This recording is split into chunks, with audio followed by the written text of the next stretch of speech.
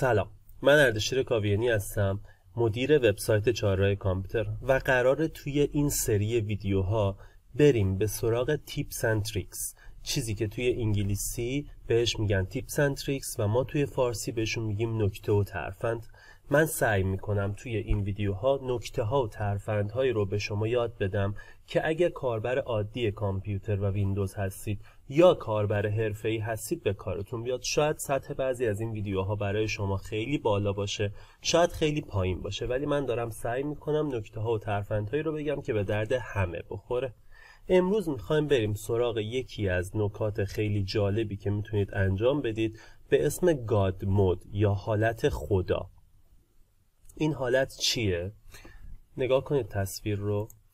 یک folder اینجا وجود داره که اگه من روش double click بکنم می‌بینید تنظیمات زیادی اینجا وجود داره. administrative tools ها 12 تا administrative tools اینجا وجود داره که رو هر کدوم بزنم برام باز می‌کنه اون پنجره. مثلا edit group policy group policy رو برای میاره. خب شما تو حالت عادی باید دستور group policy رو بلد باشید. بزنید تا باز بکنه واسهتون local group policy رو. ولی اینجوری اینجا براتون موجود هستش. یا مثلا schedule ها رو می‌خواید باز بکنید می‌زنید به راحتی براتون باز میشه. این administrative tools ها خیلی به کار ما میاد. یا چیزای دیگه مثلا backup and restore دو تا console backup رو اینجا گذاشته که می‌تونیم استفاده کنیم.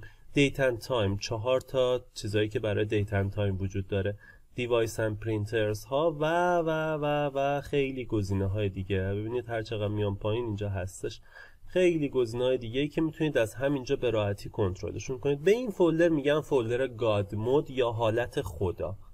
خب حالا چطور می‌تونید این گاد مود رو ایجاد کنید؟ نحوه ایجادش بسیار بسیار ساده است. من یه بار دیگه اینو باز می‌کنم. ببینید من این رو پاکش می‌کنم که الان دیگه نداشته باشمش. کافیه فقط یک فولدر جدید ایجاد کنید. نیو فولدر اسم فولدر رو باید چی بذارید؟ اینور من براتون نوشتم این متن رو دقیقا باید کپی کنید. هر جایی که این فیلم رو می‌بینید توی توضیحاتش این متن وجود داره.